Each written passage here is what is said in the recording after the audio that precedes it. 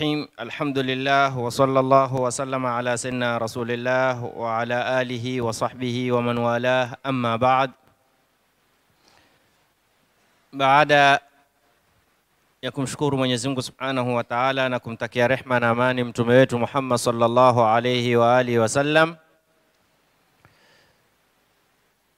hatuna budi tumwekeleeni Mwenyezi Mungu kwa nyoyo zetu.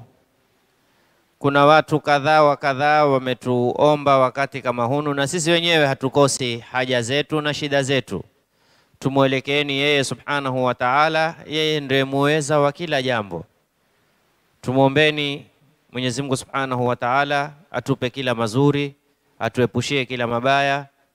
Wagonjwa Mwenyezi Mungu awape afya na afwa, wenye matatizo Mwenyezi Mungu awatatulie matatizo yao, wenye dhiki Mwenyezi Mungu aondolee dhiki zao, wenye haja Mwenyezi Mungu akidhia haja zao, waloharibikiwa na mambo Mwenyezi Mungu awatengezee mambo yao, wasokuwa na kazi Mwenyezi Mungu awape kazi za halali, wenye kazi Mwenyezi Mungu awabarikie katika kazi zao, wenye madeni Mwenyezi Mungu awasahilishie kulipa madeni yao, wasokuwa na wake Mwenyezi Mungu awape wake wema, wasokuwa na waume Mwenyezi Mungu awape waume wema, wamezoana Mwenyezi Mungu awape kushikana mpaka kuhatimishana, wamezoatana Mwenyezi Mungu alainishe nyoyo zao warejeane, wamezoteta Mwenyezi Mungu alainishe nyoyo zao wapatane, waliokuwa hospitalini Mwenyezi Mungu awafanyie sahali.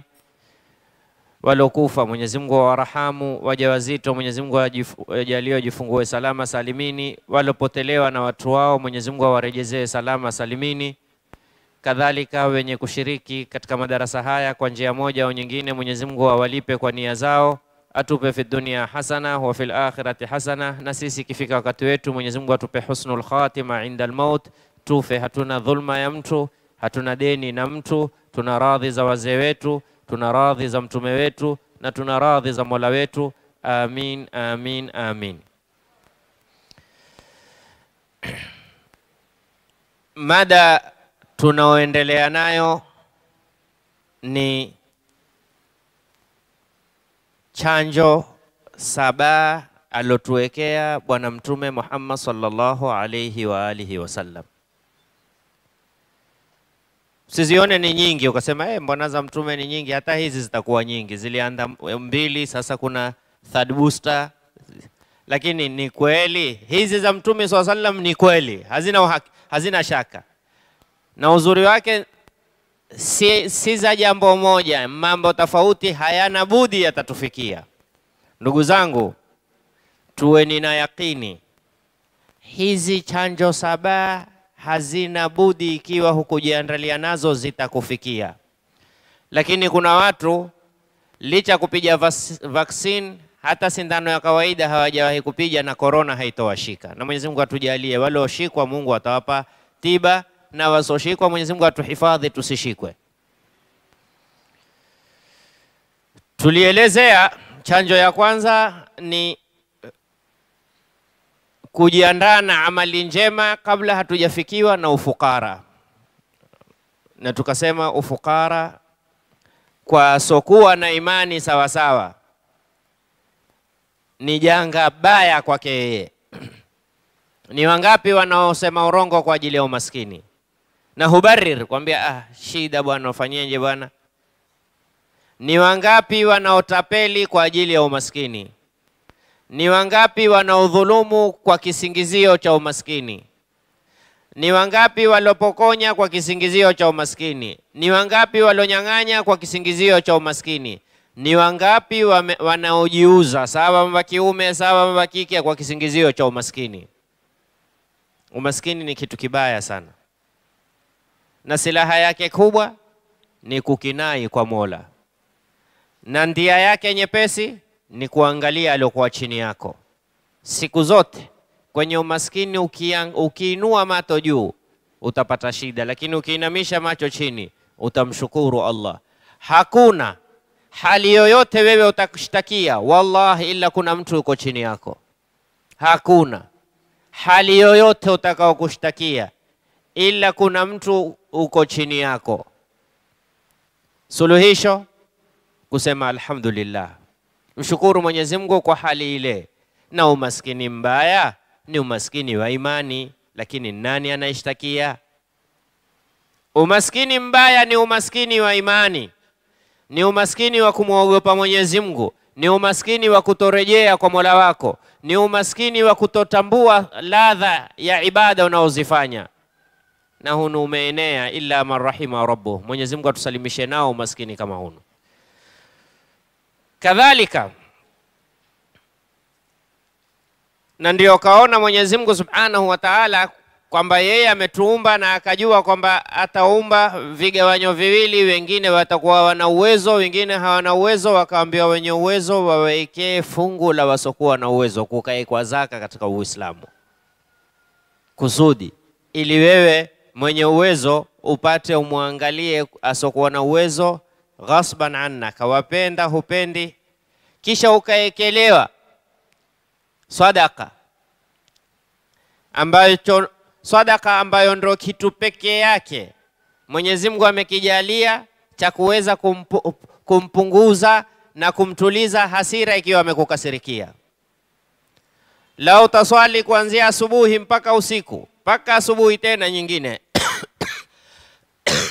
hupunguzi katika hasira za Mwenyezi Mungu, lakini ukitoa sadaka tu, lakini iwe sadaka yenyewe imekusanya sharti mbili. Ya kwanza ni kwa siri, ya pili iwe na ikhlas. Kuna sadaka ya kuwapa watu hapa, lau ukasimama ukamganyia kila mtu alfu, tutakwambia ni sadaka, lakini sadaka hii haipunguzi hasira za Mwenyezi Mungu. Lakini ile sadaka ambayo kwamba utaitoa mkono wako wa kulia ukitoa, ule wa kushoto usitambue umetoa kitu gani wala umempa nani. Hii ndio sadaka ambayo kwamba tudfiu ghadhaba rabb, huzimya yani huondosha hasira za Mwenyezi Mungu Subhanahu wa Ta'ala. Kwa nini? Kwa sababu wewe una uwezo ili umwangalie mwenzako asiokuwa na uwezo. Wewe Mungu amekupa utambue ile neema ya kupata kwa kumtambua ambaye kwamba hakupata. Nyingine tukazungumzia ni utajiri alghina almutghi, utajiri wenye kupoteza. Tukazungumza hatari yake na namna gani hunu utajiri usipojengwa na imani. Utaona maskini yasikitisha matajiri wengi, kwa kuwa Mwenyezi Mungu Subhanahu wa Ta'ala ni ghayur. Mungu hatuhitajii hatu sisi, ya ayuha nnasu antumul fuqarau ila Allah, sisi ndo tunamhitajia Mwenyezi Mungu Subhanahu wa Ta'ala, wallahu huwal ghaniyul hamid. Mungu ni mkwasi, ni mkwasi, hana haja ya senti zangu, hana haja ya uwezo wangu, hana haja ya zaka zangu, hana haja ya sadaka yangu. Mimi nahitajia yeye anitakabalie katika kile alonipa. Ukijiona wewe Mwenyezi Mungu amekupa utajiri, lakini utajiri kama ule huutumii katika mambo ya mridhishao Mwenyezi Mungu Subhanahu wa Ta'ala. Huutumii katika mambo ambayo kwamba yatakukurubisha kwa Mola wako Subhanahu wa Ta'ala. Tahadhari, faltabki ala nafsika, jililie kwamba huu mtihani hunu kwako umekuwa mzito zaidi, na Mwenyezi Mungu una ghera. Inna Allaha tayyibun la yaqbalu illa tayyiba, Mwenyezi Mungu ni mzuri na hakitakabali ila kizuri. Chochote unachokituma ambacho kwamba hukukituma kwa ndia nzuri, mara nyingi nacho hupotea kikaenda katika mahala pasipokuwa pazuri. Ila si jukumu langu na lako kumwona mtu hufanya mazuri na yeye hana tumo zuri, mwambie Mungu hana haja, mwatie yeye na Mungu, muwatie yeye na Mungu. Wewe lako wewe ni kuangalia ni ndia gani, ni mfumo gani utapitia kumwelezea ili atume tumo zuri, lakini haimaanishi alotuma mabaya hafai kutumia katika mazuri lakini mara nyingi utakuta watazipoteza katika mambo ambayo kwamba la yusminu wala yughni min juu, hayana thamani yoyote mbele ya Mwenyezi Mungu Subhanahu wa Ta'ala.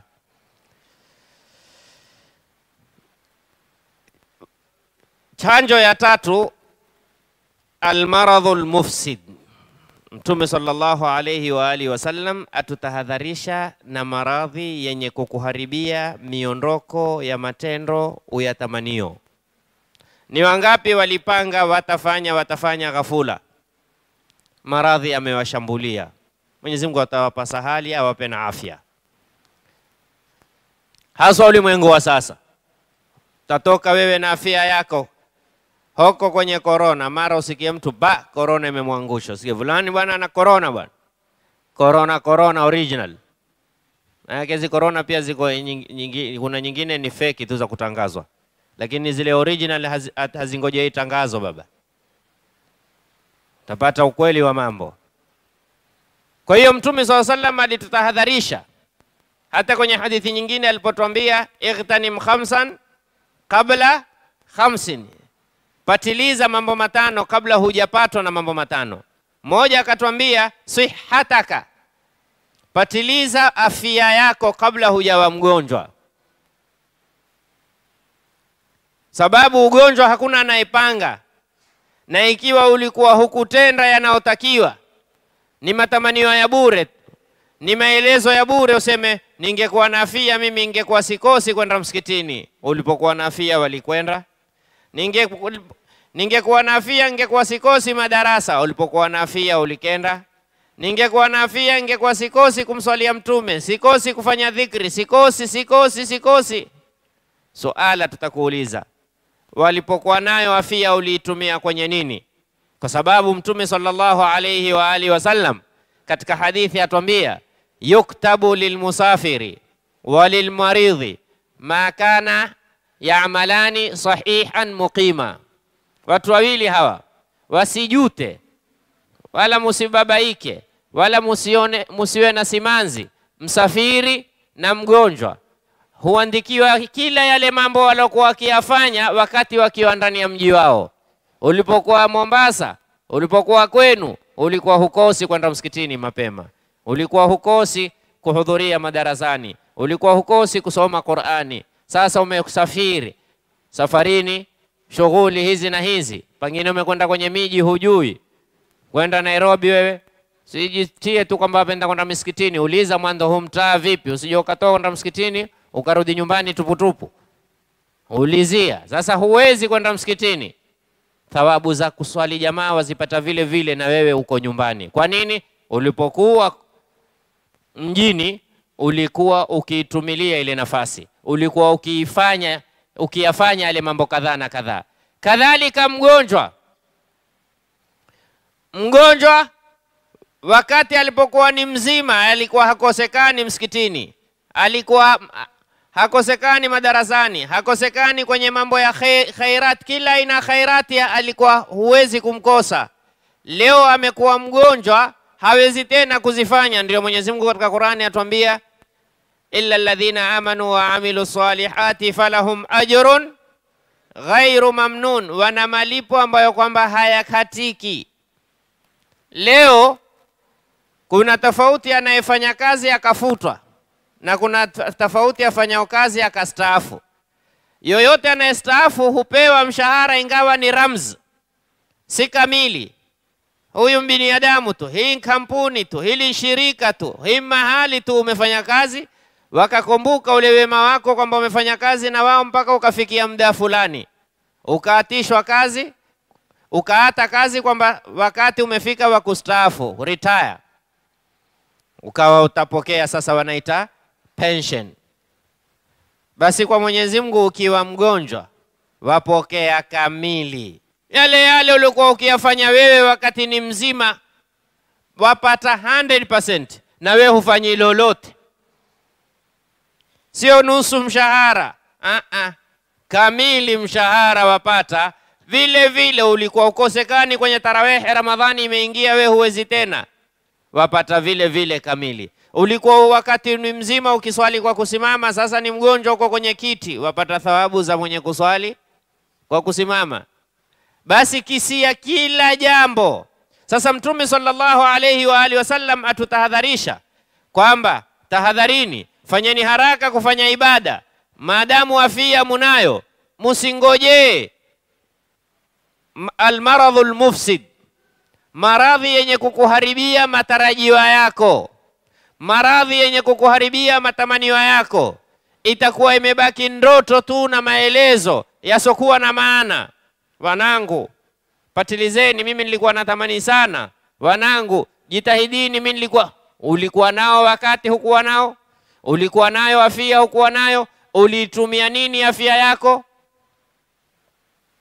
almaradhu lmufsid, maradhi yenye kukuharibia matamaniwa na malengo yako. Na leo tanawaat lamradh, maradhi yamekuwa sampuli nyingi, mara figo zimefeli, mara heart mara sijui e, natakiwa ana problem katika maini, mara nyongo zimeingia mawe. Tumekuwa husikia kila aina ya maradhi yamekuwa sasa. Haya yamekuwa yana maradhi ya moya kwa moya, corona. Subhanallah,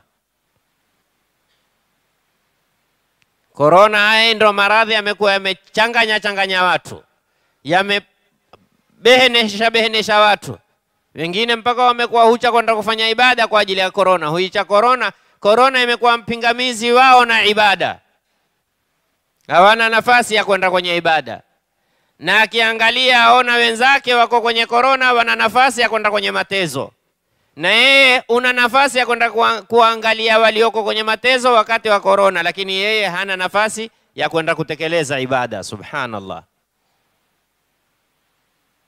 kweli mtu kama huyu akipijwa na korona kweli, akisha natamani nene natamani, wallahi kitambo sijaenda Shibu msikiti kuswali Ijumaa. Ulipokuwa alikuwa kuna korona, mbona wendani wako walikuwa wakenda? Au korona hiyo umeandikiwa wewe tu ndio itakupata? Patiliza, usingojee, fanya amali njema, fanya matendo mazuri wakati una afia yako. Lolote ambalo kwamba lahitajia afia katika ibada ili uweze kulifanya lifanye kabla hujajiwa, hujashikwa, hujapatikana na maradhi yakaweza kukuweka. Itakapokukuweka nkitandani, nkitini, ni wapi ni wapi ni wapi, ubaki ni wa kutamani au kutamaniwa na hayana matarajiwa. Au maradhan mufsida, maradhi yenye kukuharibia matarajiwa. Kuna na kitu kingine si maradhi Mtume saa salam akakielezea cha nne, akatwambia au ilharam almufannid, uzee wenye kukumaliza, uzee. Thumma yuraduna ila ardhali lumuri likai la yalama min ba'di ilmin shay'a. Na Mtume sallallahu alaihi wasallam alikuwa akilinda akinena, Allahumma inni a'udhu bika min ardhali an, an uradda min ardhali lumur, mi nailinda kwako wewe kupiswa, kupiswa. Saa ingine mtu hufikwa na uzee mpaka kawa zijana watamani. Inshallah Mwenyezi Mungu amkhafifishie babetu, ampe sahali. Sahali yake nkumtamania afe. Umekuwa dhiki, ukipewa mai wamwaya ukipewa chakula wajitawanyia, ukipewa hichi, kila kitu kwako kimekuwa kiovu. Na wengine Mwenyezi Mungu Subhanahu wa Ta'ala huwazidishia mtihani kwa kuwa walikuwa hawana alaka nzuri na mambo ya kheri, ikawa matukano tu, aingiao tamtukana, aingiao tamtukana, atamwita maina sampuli sampuli, mpaka watu wamekuwa hutukia kuja kwenye ile nyumba kwa ajili ya babako au kwa ajili ya mamako. Haya, kule ukenda ule mzee wake watoto wake wala wajukuu zake hawatukani, hutukana watu wanne tu. Subhanallah, ardha lil umur. Ndo Mtume saa sallam akatwambia fanya basi, usijefikiwa hapo, na imethibiti, imethibiti kuwa mwenye kuhifadhi umri wake ujanani, Mwenyezi Mungu humuhifadhia uzeeni حفظناها في الصغر فحفظنا لنا في الكبر. حتى الإمام أحمد بن حنبل أنا من يكي معروف ومشهور أنينا. إمام أحمد بن حنبل اتوانبيا إذا أردت أن يديم الله لك ما تحب فدم على ما يحب. ukitaka ikiwa wewe wapenda siku zote mwenyezi mungu akudumishie kile ukipendacho. Wewe wapenda nini? Pesa? Wataka zibakie usiwe maskini? Wewe wapenda nini? Afia? Wewe wapenda nini? Mkeo? Wewe wapenda nini? Kile ukipendacho wewe wataka kibaki na wewe, fadum ala ma yuhib, na wewe dumu kwa kipendacho Mungu. Mungu apenda nini kwako wewe? stick katika kile akipendacho Mungu kwako wewe, na Mungu atakubakishia kile ukipendacho wewe.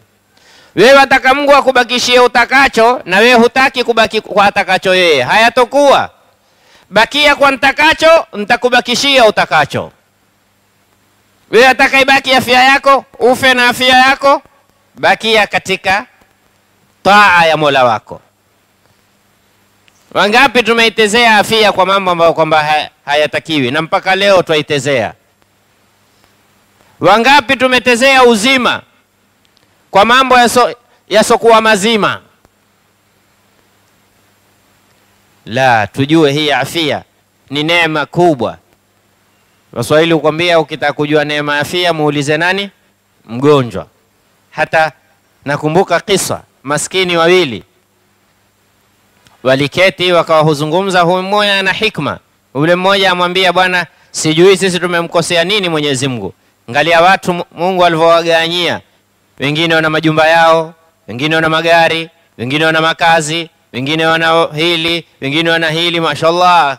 Sisi ukituangalia hatuna chochote, sijui tumemkosea nini Mungu. Na hatu, hatukosi kwenda kuswali sisi, twaswali kama wanavyoswali watu, alhamdulillah, hatuna maovu lakini kwa nini Mwenyezi Mungu na sisi asitugawanyie na sisi hizi alogawanyia waja wake? Yule bwana akamwambia, wajua, akamwambia sijui tulikuwa wapi wenzetu walipogawanyiwa na sisi tusihudhurie na sisi tukapata kile kigawanyo. Wakati Mungu akigawanya neema kama hizi, tulikuwa wapi ndugu, za, ndugu yangu na mimi na wewe tusipate? Akamwambia twende nikakuonesha tulikuwa wapi. Wewe hujui kwamba tulikuwa wapi? Twende akamtukua mpaka hospitali wodi ya mapikipiki. Unajua, ukitaka kuangalia zituko, ingia odi ya mapikipiki. Huyu imepinda shingo, huyu imevundika mikono, huyu miguu imekatika katika, huyu akamwambia, Mwenyezi Mungu alipogawanya balaa hii, mimi na wewe tulikuwa wa kuulize pale tulipokuwa mahala tulipokuwa tusipate balaa kama hii, ndipo mahala tulipokuwa tusipate neema kama ile.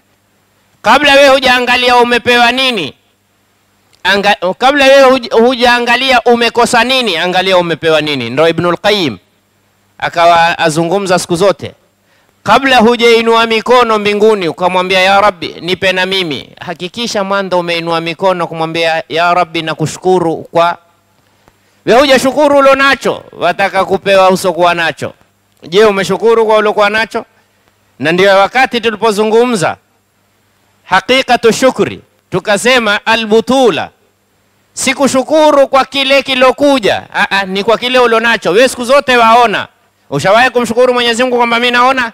Wewe siku zote wasema ni mpaka siku moja ugongane na mahala macho kidogo ya kupe matatizo, uende hospitali utibiwe tibiwe, daktari akwambia alikuwa ni infection tu kidogo, si waona sasa? Alhamdulillah, si haba ha siku zote wewe waona uneni, si alhamdulillah. Leo ndio umepatikana tatizo, ndio si haba umejitafuna ulimi, ulimi ukafura kawa matatizo hospitalini, hospitalini ulipotua. Sasa alhamdulillah, si sasa nazungumza vizuri. Wewe siku zote zungumza vizuri. Albutula, uhodari, uwekta, sio kushukuru kwa neema itakayokuzuka. Neema hii uliokuwa nayo wewe, siku zote enda choni ukaiketia tena, mtu akikubishia ngojea bwana kidogo, wasikia raha. Leo umekwenda choni hakitoki mikoyo haitoki, upija mayowe, kaitewa daktari akikupiga sindano, oh, alhamdulillah. Ah, ah. Ah, we siku zote taban raha, wapata haja kubwa na ndogo, raha mustarehe, hujawahi kumshukuru Mwenyezi Mungu subhanahu wa taala. Leo ndio matatizo kidogo tu, mikoja imefanya umetwistiwa kidogo, ndo hapo sasa ndo umejua kwamba kumbe kuna neema. Kwa hiyo tuko wengi hatujawahi kumshukuru Mwenyezi Mungu kwa hali tulionayo.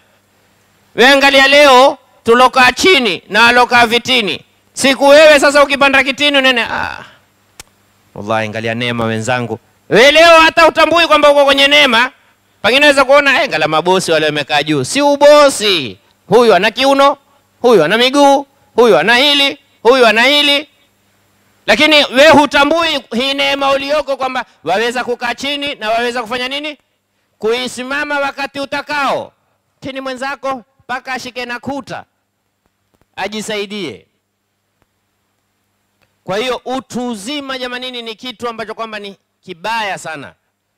Sasa Mtume swalla sallam atuambia tufanye ibada, tufanye mema, tufanye mazuri kabla hatujafikiwa na utu uzima wa kutojitambua. Baadaye uwe sasa wewe watamani, natamani ningekuwa kadhaa, ningekuwa kadhaa, ningeweza, ningetoa sadaka, ningefanya ningefanya wakfu, ningefanya kadhaa na kadhaa na kadhaa. Ya wapi? Na hapa nataka nitanabaishe nukta moja.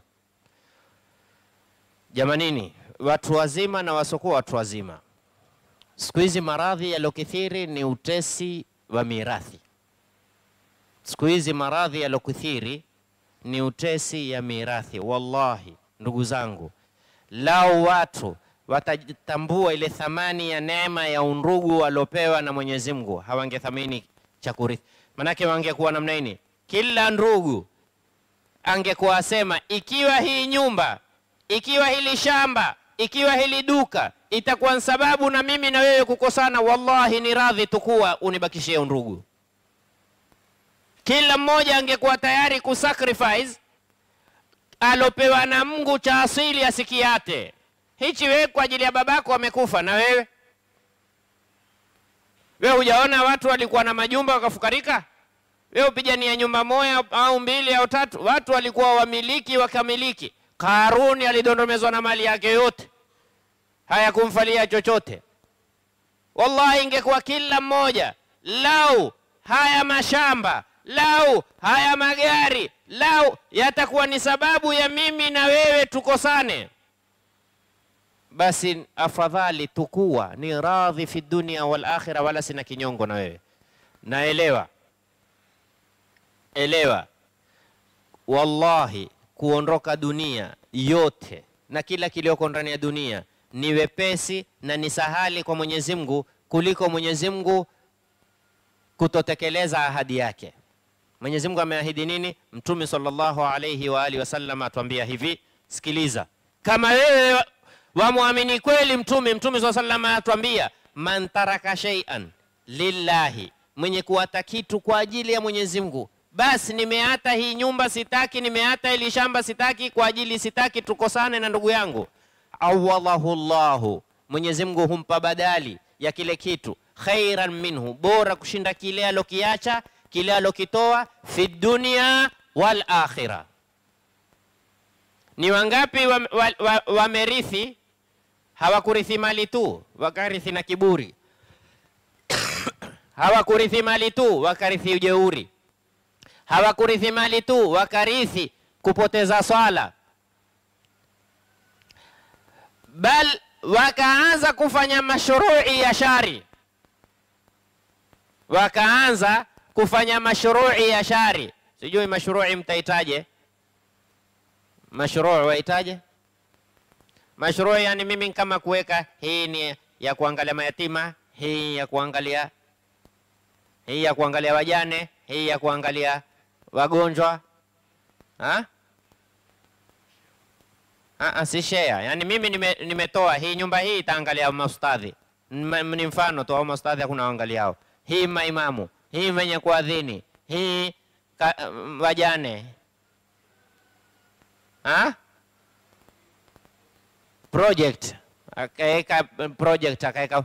Sasa yeye project zake alikuwa maskini, alipokuwa hayarithi ile nyumba, magharibi uko msikitini, isha uko msikitini. Sasa amepata na kijumba, husaga yeye akasagisha na watu, mefungua project za kusagisha watu wako kuna watu kukwambia swa kusaga yu langu, la haula wala quwata illa billah.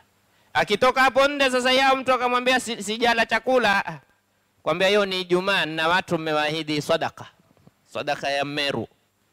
Subhanallah, subhanallah. Angalia Mungu amfunguliavyo milango ya kupoteza mali yake. Lau angeata ile pangine angekuwa kile akipatacho na Mwenyezi Mungu humsaliti akawa atasaidia japokuwa maskini kwa hamsini. Wazee wangu, ndugu zangu, tuweni makini katika mali zetu. Na tuyue. Wale, wale walotuatia mali wallahi, wakiona nyinyi huteta kwa ajili ya yale mali, mwawafikishia dhiki kubwa, na lau wangejua wangeuza mali yote uhai wao. Hata kuliwa kiswa kilitokea, bwana mmoja aliitwa na rafiki yake, mtajiri kwa matajiri, bwana bwana, ndo tusaidie, wewe ulikuwa rafiki ya babetu sana. Ehe, kunani? Si tuna utesi wa mirathi kadhaa na kadhaa, huyu anena kadhaa, huyu anena kadhaa, huyu anena kadhaa. Basi ule bwana akajaribu kusaidia kwa kadri awezao. Akia nyumbani, uonekana mwambia mke wake, mke wangu nipe ile title deed ya ka, shamba fulani, nipe sijui nini kadhaa, nipe sijui nini kadhaa, nipe Kimaliza upigia simu wakili, ndo wakili imekuya. Haya, hii shamba ya msikiti fulani, hii ule mke, wanawe na mke wake wanena, baba, lakini we mzima. Akamwambia mzima sana, mzima sana, afadhali niitengezee mwenyewe kuliko kuwawata nyinyi, kesho ule muye kuteta. Angalia hizi, Mungu amenipa nzangu, na nyinyi Mungu atawapa zenu, wateni nijitengezee wenyewe. Nini ameedheka wale la, yarete wangekuwa hupigania hiyo mirathi hawa nena si tunataka tujenge msikiti au nena si madarasa. akila mmoja ataka yeye tu. Huyo aliowatia hakuna mkumbukaye, hata fatiha hatiliwi. Singojee mtu akakuwekea tochi nyuma, jiwekee mwenyewe mbele mapema. Kama waweza kugawanya, gawanya kuanzia sasa. Zita zikubwa ziliyoko katika jamii ya Kiislamu ni kutetea mirathi vita zikubwa kila leo, huyo wana tatizo hili, sisi tuna tatizo la mirathi, sisi tatizo la mababetu hata kadhaa, huu kadhaa, huyu kadhaa, huyu mapema. Wewe gawanya na hutolaumiwa. Mtu kwa chake halaumiwi, hulaumiwi. Fanya vile uonavyo, hicho atakuweka msikitini, ila kuwa makini. Baadhi ya misikiti na wao mvalaji zaidi hata kushinda. Kuwa makini, utawapa msikiti kwa ndia gani? Maanake ukweli wa mambo, ukweli wa mambo, wakfu nyingi ziliwekewa misikiti, wanaonufaika sio wasimamia wa misikiti. Huu ndo ukweli. Wale wasimamia wa wakfu ndo hunufaika, na waendeshao misikiti hawanufaiki. Yaani zile wakfu zimewekwa kwa manufaa ya msikiti, utakuta wanaopelekesha ule msikiti hawanufaiki. Ule asimamia tu, yeye ndo bosi mkubwa, hana lolote atangulizao.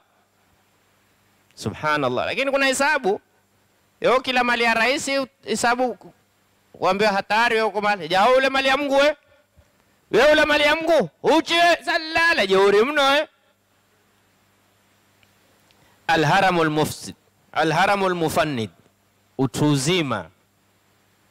Mtume sallallahu alayhi wa alihi wasallam alituambia khairukum man tala umruhu wa hasuna amaluhu. Mbora wenu ni ule ambaye kwamba tala umru, umri wake umekuwa mrefu, lakini si umri tu kuwa mrefu, sikuishi sana. Wa hasuna amalu, na matendo yake yakawa ni matendo mazuri, na kila mmoja ajijua matendo yake. Usidanganywe, angalie wewe matendo yako, je, ni mazuri?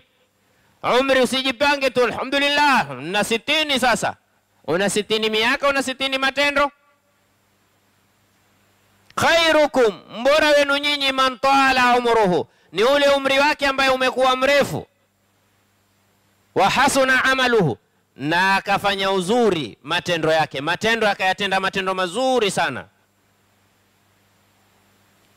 Lakini miskini, kuna watu umri mwingi na mabaya mingi na hataki kurudi nyuma. We bado umri ho ulioko, bado hutaki kurudi kwa Mola wako, bado umeketia ardhi za watu bado, bado umenyanyasa mirathi ya watu, bado hula mali ya mayatima. Kuna mayatima wewe ushishie mali yao mpaka sasa, umri hono. Wewe utarudi lini kwa Mola wako? Utatubia lini kwa Mola wako? Bado wewe una utesi, umeteta. Mtu mzima pia huteta salala ngahuwati zijana. Na zamani ilikuwa utesi ni tabia ya kike, lakini siku hizi wanawake ndio upatanisha wanaume. Huu ndio ukweli. Zamani wanawake walikuwa, mwanamume alikitukana waambiwa eh, penda kuteta kama wanawake, lakini siku hizi wanawake ndio waambiwa eh, wewe nawe umekuwa kama wanaume apenda kuteta. Maana yake utesi umekuwa ni tabia ya kiume. Allah subhanallah, sijui twenda wapi jamanini, sijui twaonea ladha gani hukuti kwenye familia, ila kuna watesi. Kisha tunataka Mwenyezi Mungu atuteremshie rahma, haiwezi kuteremka rahma. Mwenyezi Mungu ateremshie rahma kwa watu watesi. Angalia Mtume sallallahu alaihi wasallam atuambia, wanaoteta wawili, watu wawili wakiteta, swala zao hazinyanyuliwi, yula kofia hazifiki, yula kofia Ah, ah. shiburi moya haifiki Ah, ah. Kwa nini? Kwa ajili ya ule utesi. Waambiwa zistopisheni hizi swala mpaka watakapopatana.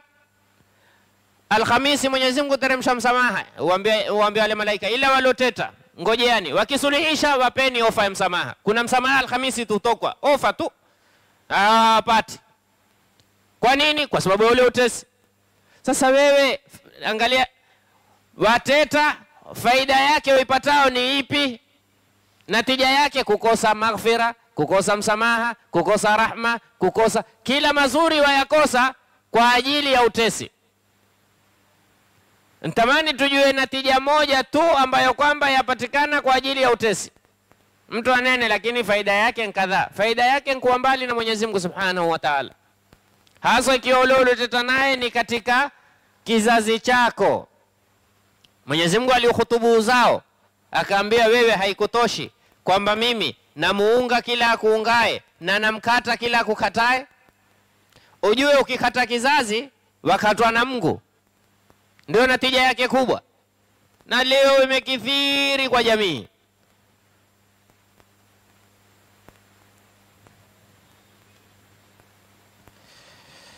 Alharamu lmufannid, utu uzima wenye kukumaliza kutopata nafasi ya kufanya mazuri na nafasi ya kutofanya mambo ya kheri. Kitu kingine Mtume saa sallam akatuelezea, au mauta mujhiza, mauti yenye kushambulia. Na kila mmoja angalia leo, kila ukisikiliza habari usikia sijui gari imepinduka, watu wangapi wamekufa, gari imepinduka, watu wangapi wamekufa, gari imepinduka mbali korona. Wewe kila ukisikia wamekufanyiwa testi sijui watu wangapi wangapi wamepatikana nao, tamani usikie siku moja leo kumefanywa testi hakuna hata mmoja. Tisha toto imea na mimi na wewe ni hawafu. Wajua kuna watu huona kukiingia kifo na yeye hufa, lakini kuna watu huishi kwamba mimi nitakufa kwa wakati wangu, hata lao nikachomwa kama bado kufa si kila mmoja ayua, kuna watu wamepata ajali mbaya hakufa. Kuna na mtu amekufa bila ajali. Kuna watu wameingia ICU. Najua ICU ndo ofisi kubwa ya Israeli, lakini weza ukaingia kawa bado kwenye faili hujaingia, hujaingia umeingia ofisini tu wewe. Kwani kila ingia ofisini ndo ameshapata kazi? Ah, ah. Lakini wengi utarajia, kwani wale waingia ACU hawaombei Mungu afia mno haswa ICU za kwetu la lakini utasikia mtu ustadhi, mwombee bwana baba uko ICU, na wewe unajua ICU siku moja ile laki tatu. Maanake moya mawili, ima atoboe atoke au tukamzike, maanake hiyo gharama haitowezekana. Sasa tumekuwa hucha, lakini kuna watu wameingia ICU na wakatoka, alhamdulillah. Yote haya nini? Mwenyezi Mungu kukuonesha kwamba kifo hakiko kwenye kitu, kifo kiko kwenye wakati. Kifo hakiko kwenye kitu, hakuna kitu hichi huua. Kifo kiko kwenye wakati. Wakati ukifika, kifo kitakujia. Ainama takunu yudrikumul maut walau kuntum fi burujin mushayyada, popote utakapokuwa, wakati wako ukifika, khalas, itakusikilia yale mauti, na wakati ikiwa bado hayawezi. Hata ukawa uko kwenye jambo ambalo kwamba ilikuwa ni hatari ni la kuua. Safari moja. Wakati wa Nabii Allahi Suleiman, wakati wa Nabii Allahi Suleiman maskani yake alikiketi Nabii Allahi Suleiman akiketi na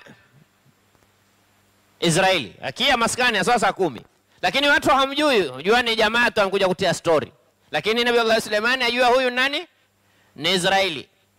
Sasa siku hiyo Israeli akawa kuna mtu mwangalia namna kila kikao mpiga mando na...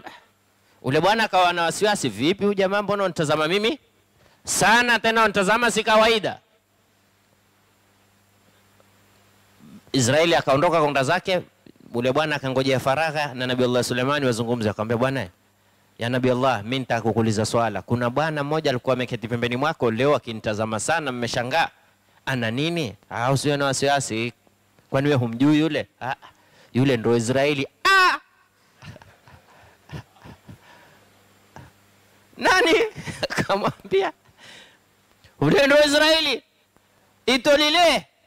Ah, sina cha salama mimi, bila shaka siku yangu imefanya nini?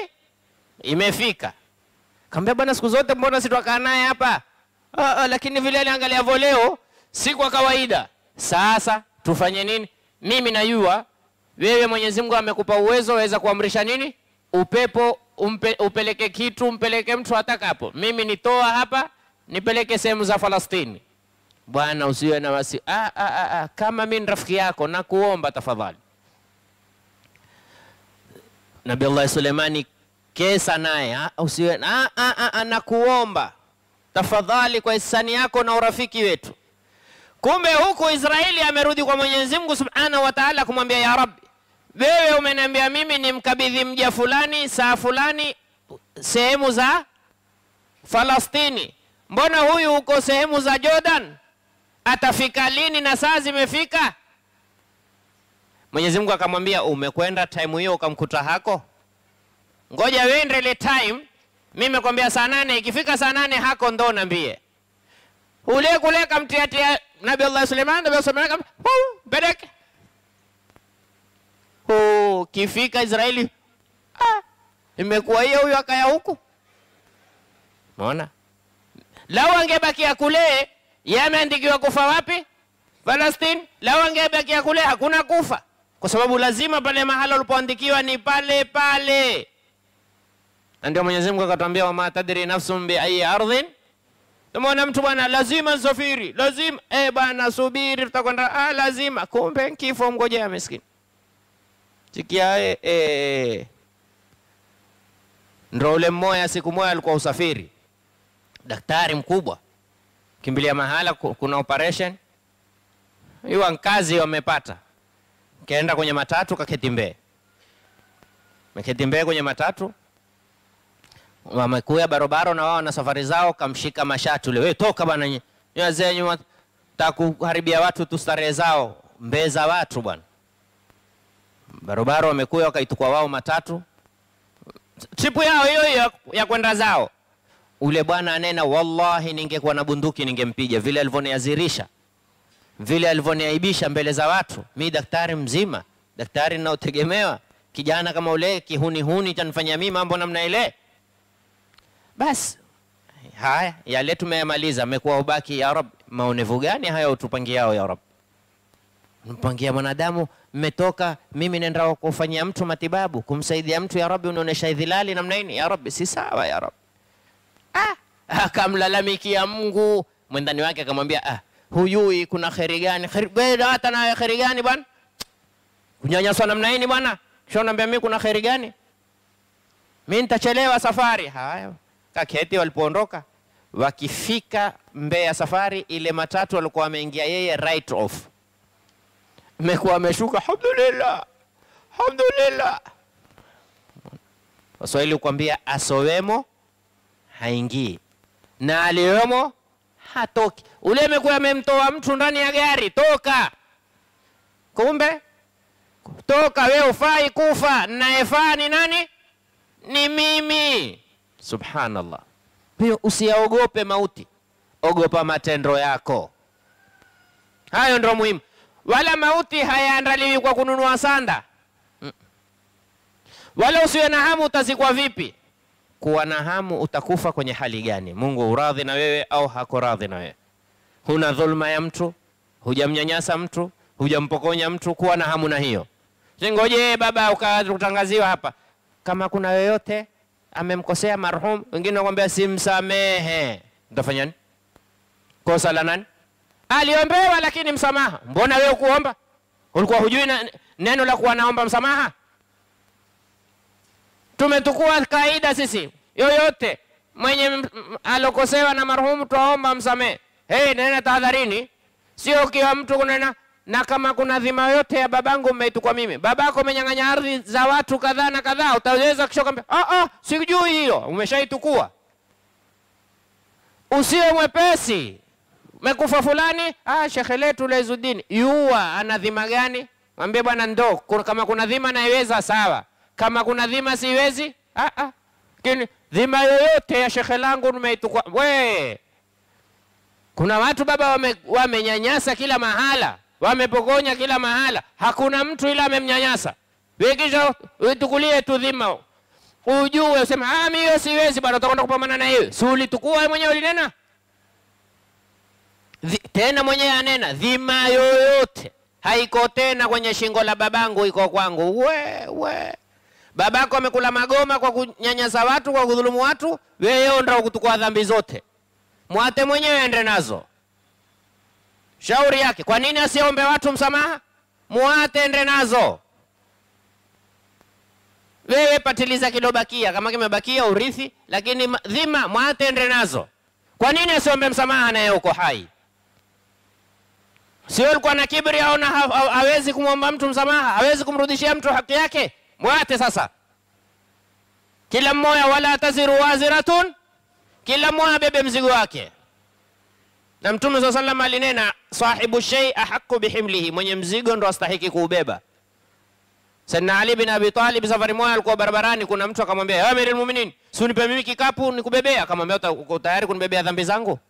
Hata mwenyewe mbebe kama unataka kunibebea nibebea dhambi zangu, mambo kunibebea kikapu tu ndo akalinena neno hilo. Mlimsikia Mtume saa sallam nilipokuwa na yeye nikataka kumsaidia, akanena sahibu shay ahaqu bihimlihi, mwenye kitu ndio haki akibebe mwenyewe, mwate mwenyewe leo mzigo wake.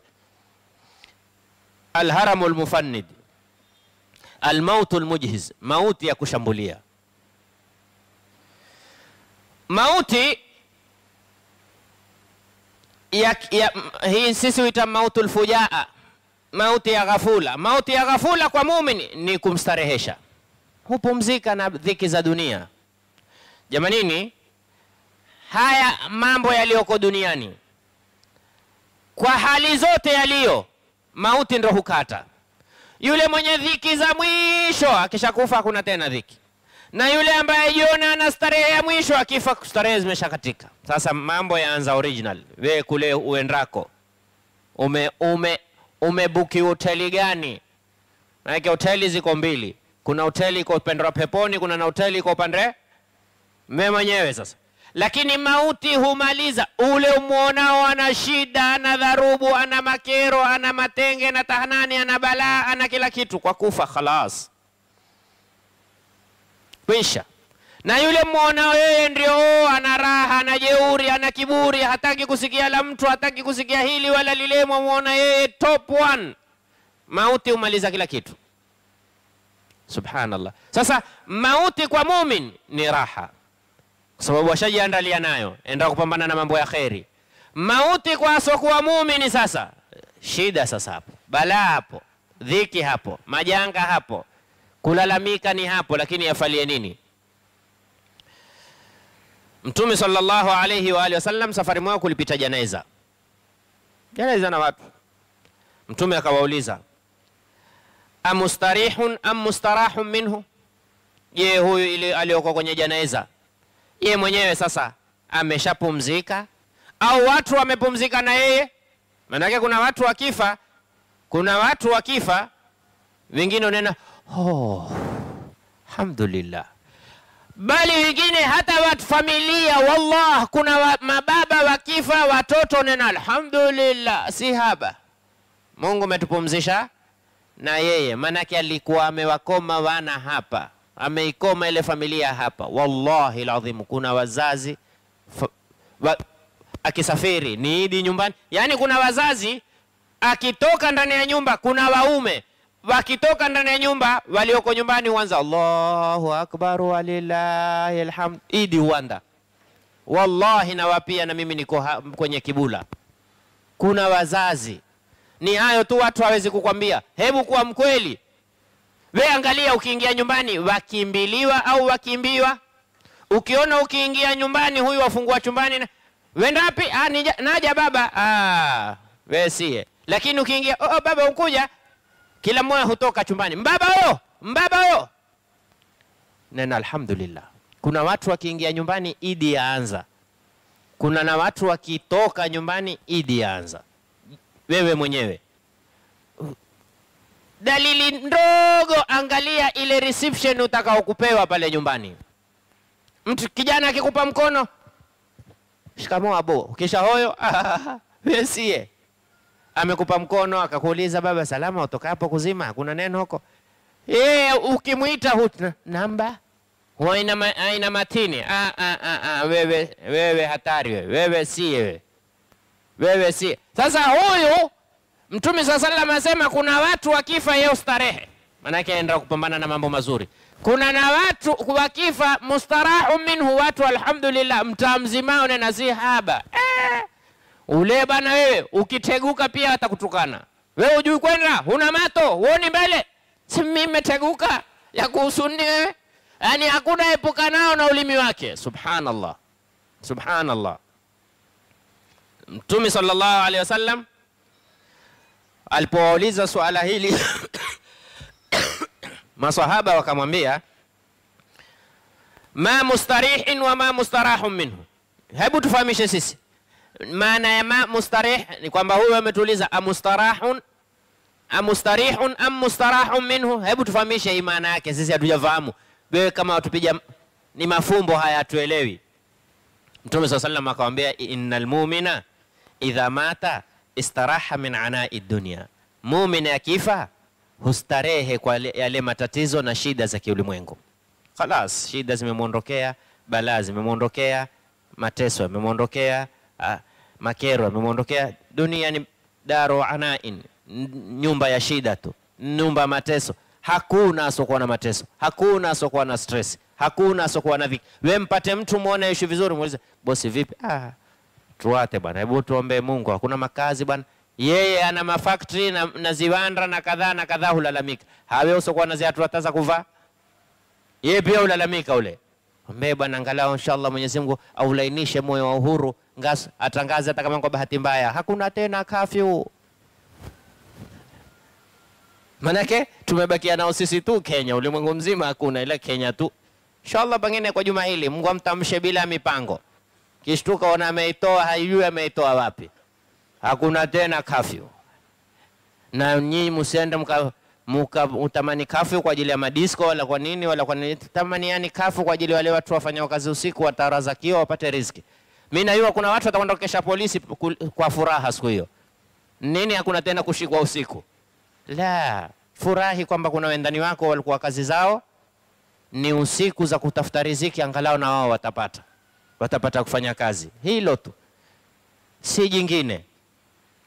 Sasa Mtume swalla salam asema mumin akifa istaraha min anai dunia wa inna lkafira idha mata istarahat minhu lbilad, na yule asomwamini Mwenyezi Mungu akifa miji yote mi pia hupumbana yeye. Yani ule asoshika ibada, ule asoshika taa, ule asofanya mazuri, hata mi ufurahi, unena ah.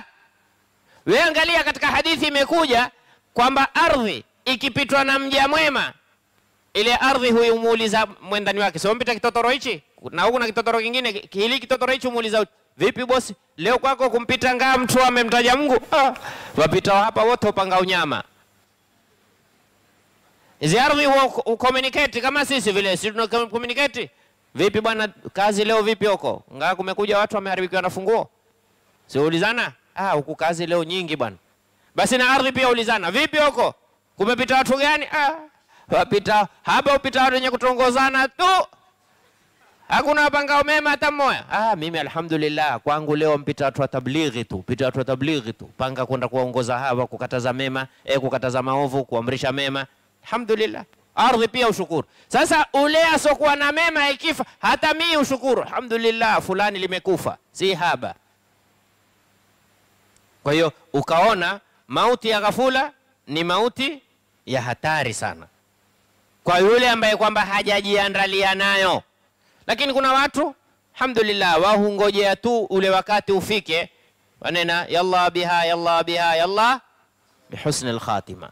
Lakini yule ambaye kwamba hana mema, akijiuliza nimefanya nini, na ndio kaona Mwenyezi Mungu Subhanahu wa Ta'ala atuambia waltandhur nafsu ma qaddamat, umetanguliza nini kesho? Kesho hiyo si kesho Jumamosi, kesho akhira.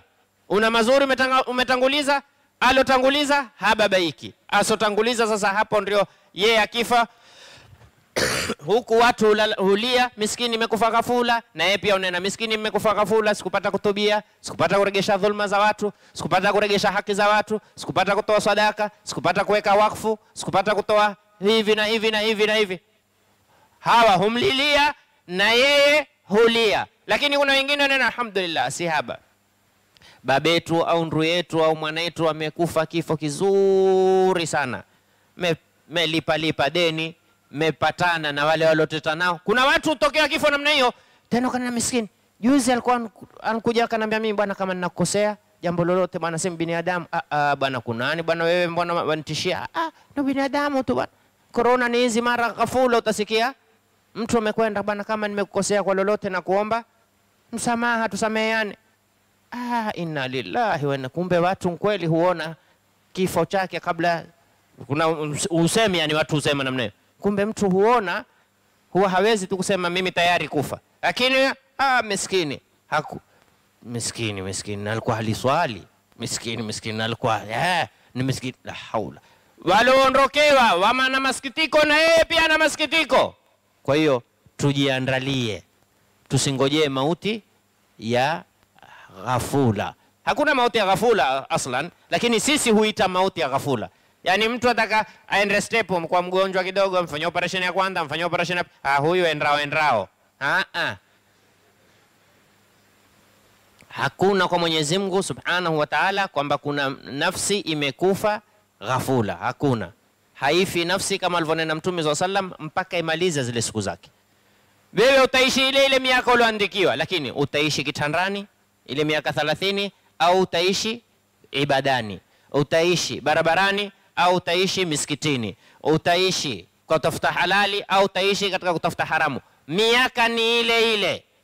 Hakuna mtu ambaye kwamba miaka yake imepungua kwa ajili ya jambo fulani. La, hiyo haitokei. Mwenyezi Mungu atupe kila la kheri, أتوبوشي كلا لشاري. اللهم أرنا الحق حقا وارزقنا اتباعه وأرنا الباطل باطلا وارزقنا اجتنابه. برحمتك يا أرحم الراحمين. صلى الله على سيدنا محمد النبي الأمي وعلى آله وصحبه وسلم. الحمد لله رب العالمين.